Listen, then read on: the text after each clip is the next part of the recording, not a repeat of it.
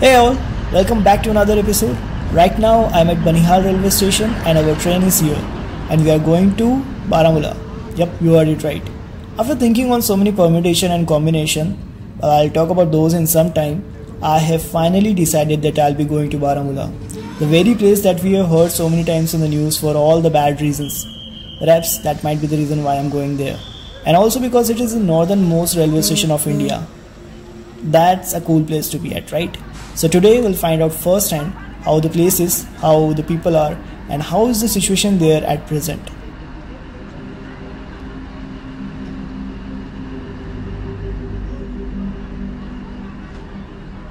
So earlier we have seen the train from outside and this is how it looks like from inside. It's very spacious and seats look very comfy but I'll be mostly at the door and you know the reason. I also had this in my mind that once I reach Srinagar, maybe next day early morning, I'll try to go to Baramulla. But that will be a time wasted on so many levels because I have to get back to Srinagar railway station and also train availability is an issue. On top of that, since I don't have any prior plans for Baramulla and I'm not sure how safe the place is, I won't be even leaving the railway station and I'll take the next train to Srinagar. To be honest, I'll be very happy with whatever I'll get to see from the train itself.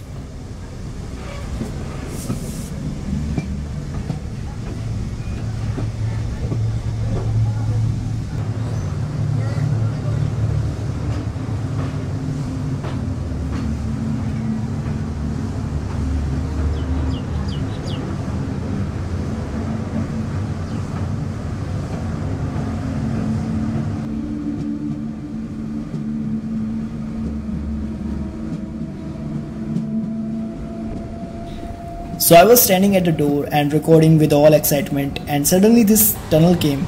I was like, okay, how long will it take to get it over? It will be over in the next second, I thought. And like a fool, I kept on recording. After three and a half minutes, I stopped and waited to get it past. But man, it went on like for another 15 minutes. So basically, later on, upon reading, I got to know that it is the longest railway tunnel in India with around uh, 11 kilometers in length and it is called Jawahar Tunnel or Pir Panjal Tunnel. Hilar Shah Abad is the first station that we come across after the tunnel and I was expecting the views that we were getting in Banihal and before that but suddenly it was like I was back in Chandigarh. All I was able to see was long stretches of paddy fields. I was like dude where's the where's the Kashmir that we have read about and heard about? Though I'm not totally disappointed. But yeah, what a surprise!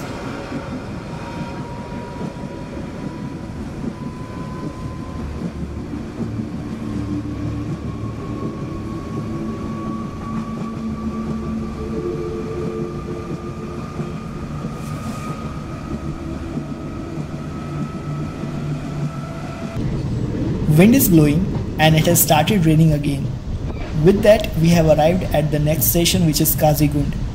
To my surprise, I have never seen a railway station filled with so many police personnel. Now I'm not sure if this security is just because of the Independence Day or it's normally like this. I'm really scared to record in front of them to be honest. Along with that, the one more thing that you guys will notice is that the RPF building is barricaded and protected with barbed wires. Well, that itself shows how unstable the past of this region was.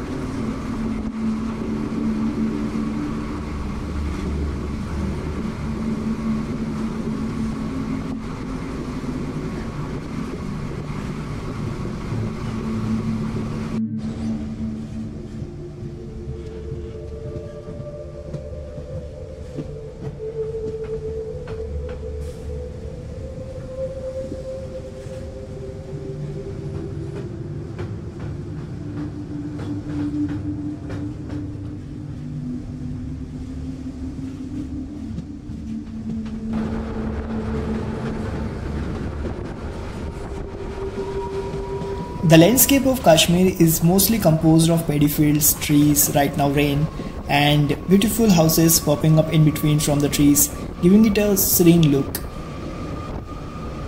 And alright, alright, here comes the station, here comes the station that I was eagerly waiting for. The iconic, the nostalgic Anantnag.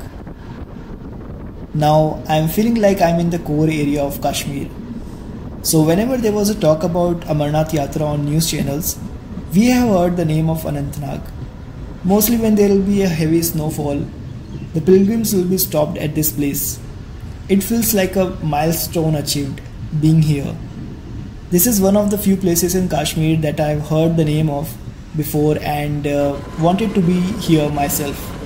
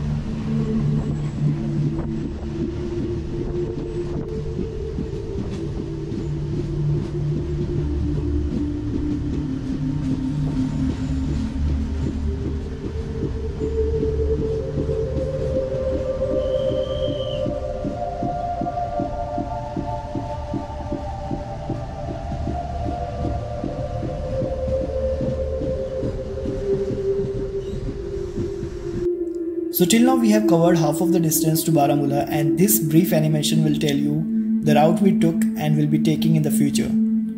The next episode is going to be an exciting one. But before I end this vlog here, I would like to request you all guys to like my videos and subscribe to my channel. That will be a great motivation for me to make more such videos. And with that, I'll leave and I'll see you guys in the next one.